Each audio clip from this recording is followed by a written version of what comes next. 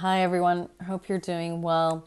I'm here today to raise the question Do you have the financial resources to enter the Chinese market? And by entering the Chinese market, I mean transacting with China, getting all the contracts set up, and the whole workflow properly stable and approved. Do you have the capabilities of vetting your partners and spending money to vet your partners and do that due diligence? And ultimately, do you have the financial capabilities to get ahead of that growth opportunity that is existing in China right now? not just for the next 12 months, but for the next 24, 48 months, do you have those financial capabilities? I have a webinar series that's coming up next week all about getting ahead of the numbers in China.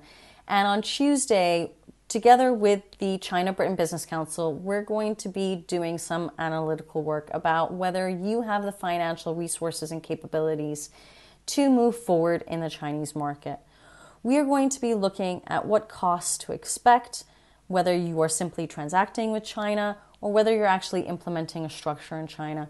We're going to be looking at your spending and how are you controlling that spend.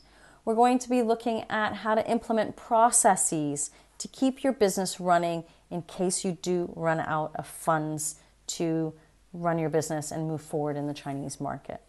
These are all dilemmas that foreign investors make during their startup phase in China.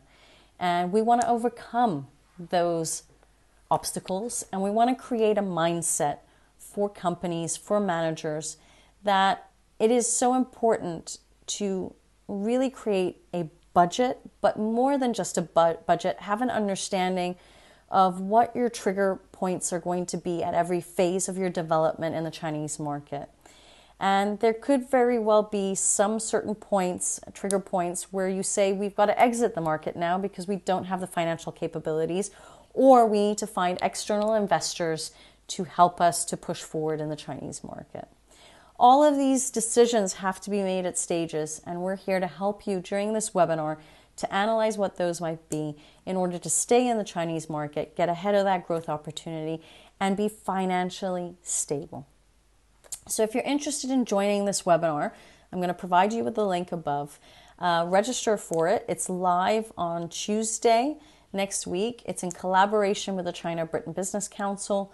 And uh, I look forward to seeing you there. And I hope this will be a great resource for people who are looking to not only start off in China, but also who are lo- looking to actually implement structures in China where the financial resource aspect becomes such a huge part of that expansion. So I look forward to seeing you there. Take care and have a great afternoon. Goodbye.